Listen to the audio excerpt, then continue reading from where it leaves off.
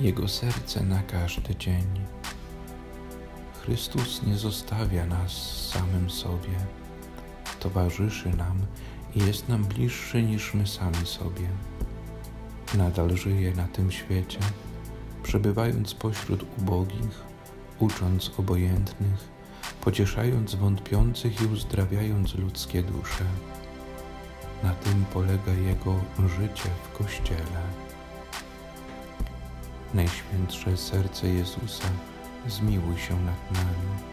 Niepokalane serce Maryi, módl się za nami. Jezu, ufam Tobie.